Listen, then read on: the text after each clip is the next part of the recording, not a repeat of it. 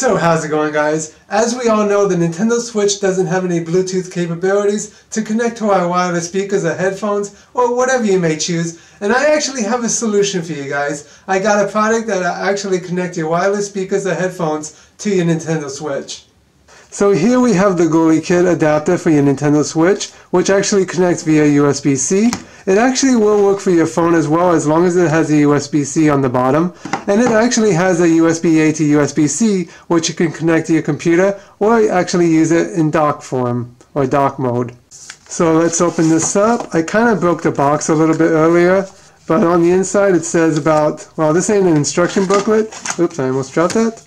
It actually says you can connect a power bank, which I'll get to in a second. I don't have that power bank, but I have my own. But anyways, inside the box we have the device itself. So here we have the device itself, which is basically a low latency audio transmitter only. It's a plug-in and play for your Nintendo Switch and other devices as well. You also want to make sure your speakers are not connected to anything else. You want to unpair them and unlink them. So uh, basically I'm just going to put that right into my Nintendo Switch if I can just get it into the hole. And then I'm going to turn on the switch. And it also has, it also consumes very little battery. So I'm just going to connect that and then I'm going to search for my Bluetooth speaker and I'm going to turn my Bluetooth speaker on and give it some time to actually connect because my Bluetooth speaker is a little slow in connecting. Okay, so now that my audio transmitter actually connected, I have it playing out of the speaker here and it sounds really good actually and I'm just playing it for you guys so you can hear like how much lag there actually is which seems to be very little and not noticeable at all. But I really do like it. If you want to connect it to your dock you can actually use this. It also connects to your computer which I actually tested. I actually don't have a Bluetooth on my one computer.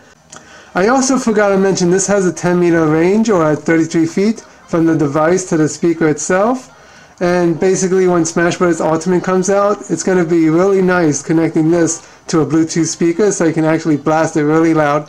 Unless if you want to go with the audio jack, which is okay. Let me know how this actually sounds and looks to you guys in the comments below.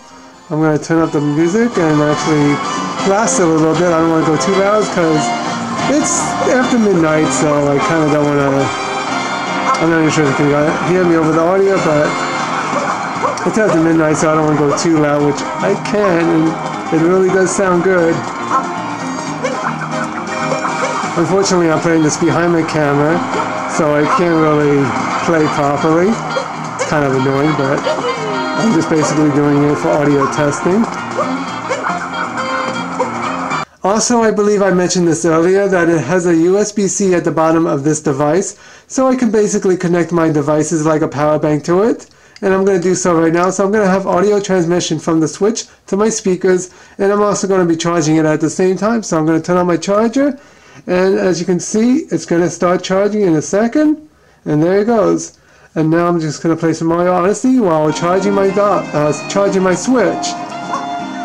And there you go guys. I hope you enjoyed this video. Let me know what you guys think about this transmitter. I kind of want to test it from a further range but I haven't got the chance. But anyways, let me know what you guys think in the comments below, and as always, have a smashing day.